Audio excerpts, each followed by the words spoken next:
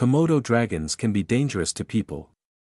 They are the largest living species of lizard and are native to the islands of Indonesia, particularly on the islands of Komodo, Rinca, Flores, Gili Matang, and Padar.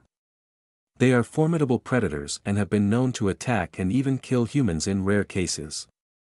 Komodo dragons have powerful jaws with sharp, serrated teeth, and they are capable of delivering a venomous bite.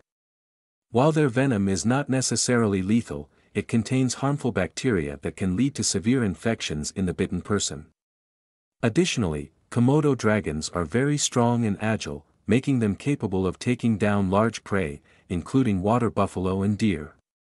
If you encounter a Komodo dragon in the wild, it's best to keep a safe distance and avoid provoking or approaching the animal to minimize the risk of an aggressive response.